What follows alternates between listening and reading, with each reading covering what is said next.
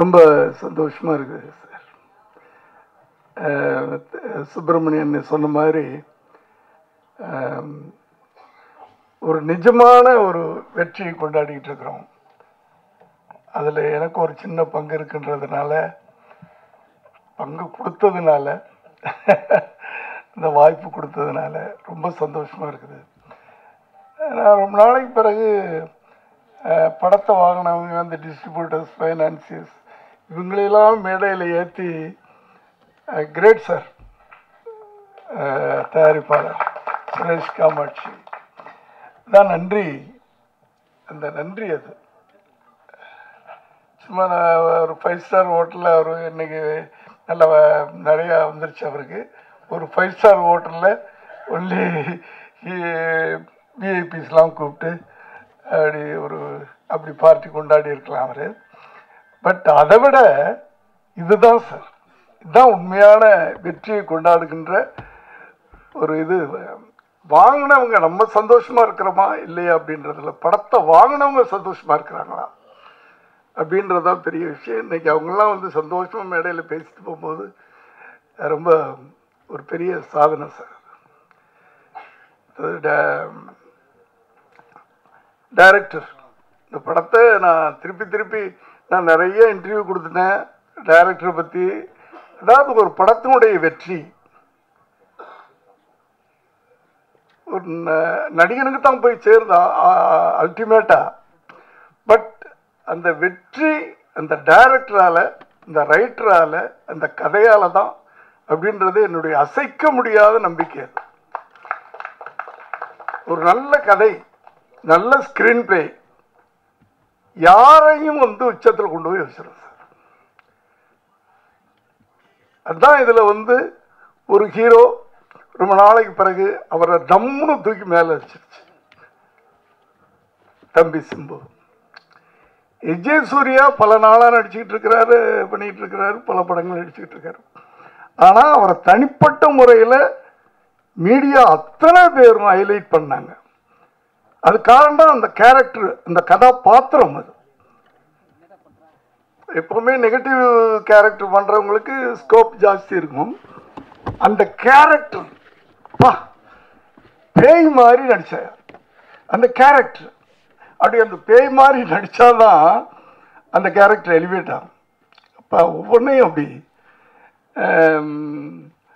YG Mahendran sir அப்பா அந்த ஒரு சீன் நீங்க சொன்ன ஒரு சீன் போதும் சார். என்னடா குழப்புற?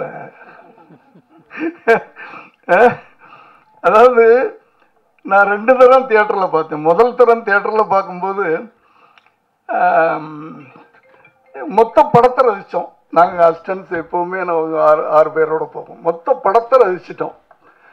அதை ஒவ்வொன்றா ரசிக்கணுமேன்னு சொல்லிட்டு மூணாவது நாள் திருப்பி போனேன். ஃபஸ்ட்டு டே பழசால ப்ரொடியூசர்கிட்ட கூட ப- படம் பார்த்துட்டு வெளியே வந்த உடனே முதல்ல ப்ரொடியூசருக்கு ஃபோன் பண்ணேன். நீங்கள் பெரிய ப்ரொடியூசர் ஆகிட்டீங்க சார் அப்படின்ட்டு. ரெண்டாவது டைரக்டருக்கு ஃபோன் பண்ணேன். ஏன்னா எல்லாரும் எழுதுன மாதிரி தான் இந்த இது வந்து கரணம் தப்புனா மரணம்னு சொல்லுவாங்கல்ல. அப்படியேப்பட்ட ஒரு ஸ்க்ரீன் பிளே சார். கொஞ்சம் அது என்னன்னா அந்த பவுண்டட் ஸ்கிரிப்ட் பண்ணதுனாலேயோ என்னமோ தெரியல. அப்படியே இதுக்கு பிறகு இது இதுக்கு பிறகு இது தூக்கி போட்டா அங்கே தூக்கி போட்டா இங்கே. அப்படி அழகாக எடுத்து அதை வந்து அப்படியே என்ன நினச்சி எடுத்தாரோ ஸ்க்ரீனில் கொண்டு போய் கொடுக்கணும்ல எடிட்டர் கொஞ்சம் அப்படி இப்படின்னு இருந்தால் கூட தடுமாறி இருப்பாங்க பார்க்குறவங்க. நான் யாரோ இங்கே சொன்னாங்க. கொஞ்சம் வயசானவங்களுக்கெல்லாம் புரியல. சின்ன குழந்தைங்க வந்து ஐயா தாத்தா புரியலையா? இதான் அது அதான் இது. இதான் டைம் லூப்பு புரியுதா? செத்தவன் திருத்திட்டு போடுறான் அவன் புரிய என்ன புரியாமல் இருக்கிறேன் அப்படின்னு சின்ன குழந்தைங்களுக்கு கூட புரியக்கூடிய படங்கள். ஒரு புது ஜோனரை நீங்கள் அறிமுகப்படுத்திட்டீங்க சார். ஆங்கில படங்களை தான் பார்த்துக்கிட்டு இருந்தோம். இப்படி ஜோனரை அதான் நான் இன்டர்வியூவில் சொல்லியிருக்கிறேன். அந்த ஆங்கில படத்தினுடைய சாயலை அதை மைண்டில் வச்சுக்கிட்டு அதை நம்ம நம்ம நேட்டிவ்க்கு சொல்லணும்ல. அதான் அழகாக ரெண்டு விஷயம் எடுத்துக்கிட்டார் அவர். அந்த இஸ்லாமிய மதங்கள் இந்த சாயம் பூசுகிறாங்க அது நம்ம இந்தியனஸ் ஆயிடுச்சு. ரெண்டாவது ஏன் அந்த சிஎம்எம் ஆர்டர் பண்ணுறாங்க மாடர் பண்றதுக்கு பிளான் பண்றாங்க. வாரிசு அரசியல். இது தமிழ்நாட்டை கனெக்ட் பண்ணிடுச்சு. இப்படி அந்த ஒரு ஒரு ஒரு நல்ல கதையில படம் பார்க்குறவங்களை கனெக்ட் பண்ண வைக்கிறதுன்றது பெரிய விஷயம். அது அழகாக கனெக்ட் பண்ண வச்சார். அதுதான் அவருடைய ஸ்க்ரீன் பிளே அடுத்து ரெண்டாவது வாரம் பார்க்கும்போது தான் சார் மிரண்டு போயிட்டேன். மியூசிக்கு ஒரே வார்த்தையில் நம்ம சொல்லணும்னா இசைஞானி இளையராஜாவின் டூ கே வெர்ஷன் அவர் தான் சொல்லணும். என்ன சொல்லணும்னா அவருடைய இன்றைய டெக்னாலஜி வெர்ஷன் அதாவது நான் வந்து அவ ராஜாவுடைய என்ன சொல்கிறது ஜென்ரேஷன் சில படங்கள் அவர்கிட்ட வரும். டைரக்டர் பார்த்து என்னடா குப்பை மாதிரி எடுத்து வச்சிருக்கிற? அப்படிம்பார். ரீ படம் போகும். டைரக்டர் உள்ளே வருவார். தயவு பண்ணி வெளியே போ. நீ ஏதாவது சொல்லி எனக்கு குழப்பிடாத இந்த படத்தை நான் உருப்படியாக வெளியே கொண்டாடணும். அப்படின்னு சொல்லிட்டு யார் டைரக்டர் என்னதெல்லாம் நான் சொல்ல மாட்டேன். நிறைய நிறைய நடந்திருக்குது எங்கள் பீரியடில். அவர் மியூசிக் பண்ணிட்டு ஃபஸ்ட் காப்பி பார்ப்போம் பாருங்க. என்னடா முன்னாடி ரிலீஸ்க்கு முன்னாடி வேற படம் பார்த்தோமா? அப்படியே அந்த ஜீவன் உயிரை கொடுப்பார். உயிர் கொடுப்பார் அந்த படத்துக்கு. தம்பி அம்மா ரெண்டாவது படம் பார்க்கல. மியூசிக் தான் என்ன அப்படியே? பா நினைக்கும் போதே ஒரு மாதிரி நமக்கு ஒரு ஜிப்புன்னு இருக்குது. அந்த ஒரு நான் மட்டும் ரசிக்கல எல்லாருமே சுற்றி பார்க்குறேன் அந்த மியூசிக் இங்கே இங்கே கேட்கும்போது என்னடா அப்படின்றாங்க. கிரேட்மா அதான் ஒரு வார்த்தையில் சொல்லிட்டேன். சா ராஜாவுடைய டூ கே வெர்ஷன் அடுத்து எல்லாருமே இந்த படத்தில் ஒவ்வொரு சின்ன சின்ன கதாபாத்திரங்கள் நடித்தவங்களுக்கு இம்பார்ட்டன்ஸ் கொடுத்து முக்கியமான விஷயம் சார் இந்த படத்தினுடைய வெற்றிக்கு இன்னொன்று கூட நான் நான் நினைப்பேன். எவ்வளவு வெற்றிகள் வந்தாலும் தாழ்ந்து போயிடணும் அப்படின்னு தாழ்ச்சியாக இருக்கணும் அப்படின்றது என்னுடைய நான் கற்றுக்கிட்டது அதை என்னுடைய பிள்ளைக்கு சொல்லி கொடுத்துருக்குறேன் நான். இந்த யூனிட்ல பாத்தீங்கன்னா பெரிய பெரிய படங்கள் மங்காத்த மாதிரி படங்கள்லாம் பண்ண டைரக்டர் செட்டில் சார் அப்படின்னு கூட சார் சொல்லுங்க சார் அப்படி அப்படியே ஒரு நெளிவு நெளிவார். சொல்லுங்க சார் அப்படி ஒரு ஒரு எளிமை ஒரு தாழ்ச்சி.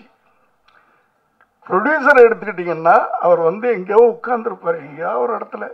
இந்த இவ்வளோ பெரிய படம் இவ்வளோ ஒரு செலவு பண்ணி ஒரு படம் எடுக்கிற அந்த பந்தா இந்த எதுவுமே இல்லாத ஒரு நான் அன்னைக்கு படம் பார்த்துட்டு ஃபோன் பண்ணுறேன் அந்த அவர்கிட்ட ஒரு அப்போ கூட நம்ம தான் பாராட்டுறோம். ஒரு பெரிய ப்ரொடியூசர் ஆகிட்டீங்கன்னு தேங்க்ஸ் சார். அது ரொம்ப குறைவாக பேசுகிறாரு ஆனால் ஒரு நிறைவான ஒரு படத்தை கொடுத்துருக்கிறாரு. அப்படி அவங்களெல்லாம் பார்த்து நான் ஆச்சரியப்பட்டுக்கிட்டு இருக்கேன் ஒவ்வொருத்தரும். மற்றபடி அவங்களுக்கு பக்கபலமாக இருந்தவங்களையெல்லாம் பற்றி சிவா ரொம்ப அழகாக சொல்லிட்டாரு. அதனால் இந்த தாழ்ச்சியாக இருக்கிறதே வந்து ஒரு இந்த படத்தில் நடித்த ஹீரோவும் சரி. இந்த படத்தை பொறுத்த வரைக்கும் நான் கூட இருந்து பார்த்ததுனால டெடிக்கேட்டடாக தாழ்ச்சியாக ஒரு அடக்கமாக மண்டகணம் இல்லாமல் இந்த மண்டகணம்னு சொன்ன உடனே ஒரு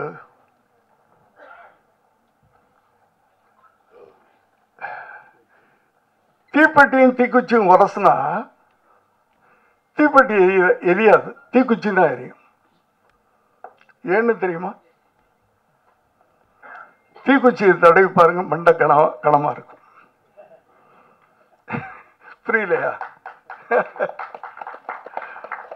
புரியல திடீர்னு சொன்னதுனால யாருக்கும் புரியலன்னு. தீக்குச்சியில் மண்டை கனமாக இருக்கும். அந்த கனமாக இருந்தால் யாருக்குமே வெற்றி கிடைக்காது. ஏதோ ஒரு ஒரு வெற்றி கிடைக்கும். அடுத்த வெற்றி கிடைக்காது. அந்த வெற்றிகள் வரும்போது தான் நம்ம ஜாக்கிரதையாக இருக்கணும். அப்படியாப்பட்ட ஒரு ஒரு யூனிட் டோட்டல் யூனிட் ஒரு நான் அது ஒரு ஆறு நாள் தான் நான் வந்து ஒரு ஆறு நாள் மூணு நாள் அரை நாள் நடித்தேன் மீதி ஒரு மூணு நாள் வந்து நல்ல எனக்கு லூஸ் மோஷன் போய்கிட்டு இருக்கு நைட்டு மாநாடு. சார் எனக்கு இப்படி இருக்குது அப்படின்னு. "சார், நீங்கள் வந்துடுங்க சார் உங்களை பன்னெண்டு மணிக்கெலாம் அனுப்பிச்சிடுறேன் சார். அப்படின்னு ஒரு ரெண்டு நாள் அதிகமாகி போய் என்னால் முடியவே இல்லை. அந்த மா- மாநாடு சீனில் நான் நடிக்கவே இல்லை. எப்படி படம் முழுக்க என்ன கொண்டாந்து என்னமோ பெரிய நடிகன் மாதிரி. ஒரே ஒரு ஷார்ட்டை திரும்பி திரும்பி போட்டு நான் உங்களுக்காகவே உழைத்து உழைத்து சாவதை தவிரா இதை தவிர நான் என்ன பண்ணேன் அந்த படத்துல? ஏன் சார் இதை தவிர அந்த படத்துல நான் என்ன பண்ணேன்? என்னது?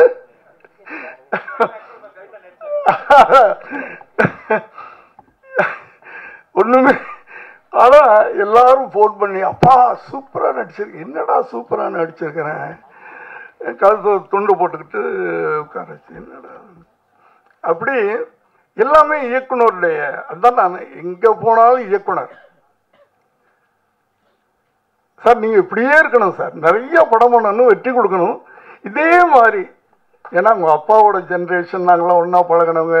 என் ராமாவுக்கு உங்கள் அப்பா பாசிருக்கிறாரு அந்த அந்த சிம்பிளிசிட்டி சார் அது ஜென்ரேஷன் சார் அப்படியே அந்த ஜீன் நான் உங்களை ரசிச்சிருக்கேன் சார் நீங்கள் அந்த மானிட்டர் பின்னாடி உட்காந்துக்கிறவங்க உட்காந்துக்கிட்டு அங்கேயே உட்காந்துட்டீங்க சார் செஞ்சுக்கிட்டு உங்கள் அப்பாவுக்கு தான் நன்றி சொல்லணும். உங்கள் அப்பா பிராட்டம் அடுத்து எனக்கு புரியல இப்படி இவ்வளோ பெரிய ஒரு உண்மையான வெற்றி. வெற்றி நாயகன் இந்த இடத்துல இல்லாதான் என்னன்னு எனக்கு புரியல. ஷூட்டிங்க என்ன ஷூட்டிங் இருந்தாலும் வந்திருக்கணும். என்னமோ தெரியல. ஏன்னா இந்த படம் அவருக்கு ஒரு பெரிய திருப்புமுனை. இந்த சந்தோஷத்தை இங்கே வந்து நம்மளோட அவர் கொண்டாடி இருக்கணும். கஷ்டமாக இருக்குது அவர் வந்திருக்கணும். சாரி நான் பாட்டுக்கு உண்மையில் மனசு கஷ்டமாக இருக்குது அதனால் சொன்னேன். ஏன்னா இப்படிப்பட்ட வெற்றிகளில் வந்து எவ்வளோ அவரை நம்பி அவர் முதலீடு பண்ணியிருக்கிறாரு அவரை நம்பி அவர் எவ்வளோ கொடுத்துருக்கிறாரு. இப்படிலாம் கஷ்டப்பட்டு ஒரு தயாரிப்பாளர் இவ்வளோ பெரிய வெற்றியை கொடுத்துருக்காருன்னா அந்த வெற்றியை கொண்டாடுறதுக்கு அந்த கதாநாயகன் இங்கே இருக்கணும். அது என்ன ஷூட்டிங் அது? புரியல. அதான் அந்த வெற்றி வந்த உடனே வந்து அப்படி எப்பவுமே அந்த படத்தில் ஷூட்டிங்கில் எப்படி இருந்தோமோ அதே மாதிரி தான் வெற்றிக்கு பிறகு இருக்கணும். அப்போதான் இன்னொரு வெற்றி கிடைக்கும். நன்றி சார் எனக்கு இப்படி ஒரு வாய்ப்பு. சாரி நான் எங்கேயோ டாபிக் போயிட்டேன். ஒரு நல்ல விழாவில் எனக்கும் அந்த சின்ன கொடுத்து அது இந்த படத்துக்கு பிறகு எல்லாரும் ஒரு மூணு வாய்ப்பு வந்துச்சு சார். மூணு பேரும் சார் நீங்க சிஎம்மா நடிக்கணும். ஏன்னா அவங்க சொல்றாங்க உங்களை உண்மையான சிஎம்னு நம்ப வச்சுட்டார் சார் அவர். உண்மையான சிஎம்னு நம்ப வச்சுட்டார் சார் சிஎம்மா நடிக்கணும். அது போங்கய்யா. ஏதாவது இனிமே பண்ண மாட்டேன். ஏதாவது தப்பான கேரக்டர் அப்படி இப்படி அப்படியே சிஎம்மாக இருந்தாலும் தப்பான சிஎம்னு சொல்லுங்க. நடைமுறையில் இருக்கிற மாதிரி நான் பண்ணுறேன் நல்ல சிஎம்னாவே நம்ப மாட்டேன்றாங்க. ஆனால் அவர் நம்ப வச்சுட்டார். ஆ? ஒரு சிஎம் நல்லவரா? எப்படி அது? ம்? அது நீங்கள் என்ன டூப் விடுறீங்களா அப்படின்னு ஜென்ரலாக நம்ம கேட்போம். ஏன்னா காமராஜருக்கு பிறகு நம்ம அப்படி பார்க்காதனால. ஆனால் என்னை நம்ப வச்சுட்டார் சிஎம் அதை எல்லாரும் சொல்கிறாங்க இந்த டைரக்டர்லாம் மூணு பேர். சார் நீங்கள் தான் சிஎம்னு நம்ப வச்சுட்டார் சார் அதனால் அதே கேரக்டர் நீங்கள் கொஞ்சம் பண்ணி கொடுத்தா நல்லாயிருக்கும் சார் இல்லைப்பா முடியாது. அப்படின்னு. அப்படி எங்களையெல்லாம் ஒரு நடிகனாக மாற்றி நம்ப வைக்க நம்ப வைக்கிற அளவுக்கு கொடுத்துருக்குறீங்க எல்லாருக்கும். குறிப்பாக டைரக்டருக்கு ஏன்னா ஒரு டைரக்டர் கையில் தான் ப்ரொடியூசர் சார் உங்களை நம்பித்தான் அந்த டைரக்டர் அவரை காப்பாற்ற வேண்டிய கடமை நாங்களாம் எங்கள் ஜென்ரேஷனில் அப்படித்தான். அந்த ப்ரொடியூசர் ரிலீஸ் ஆகிற ரிலீஸ் பண்ணுற அன்னைக்கு அந்த ப்ரொடியூசர் ஒரு அஞ்சு காசு ஒரு அஞ்சு லட்சம் ரூபா லாபம் வந்துட்டா பெரிய சந்தோஷம் அந்த காலத்துலாம் இன்னைக்கு ஒரு அஞ்சு கோடி பத்து கோடி வந்துருச்சு. அது வேற விஷயம். அது டைரக்டரால் தான். அதனால எல்லாருக்கும் என்னுடைய நன்றியை சொல்லி விடைபெறுகிறேன்.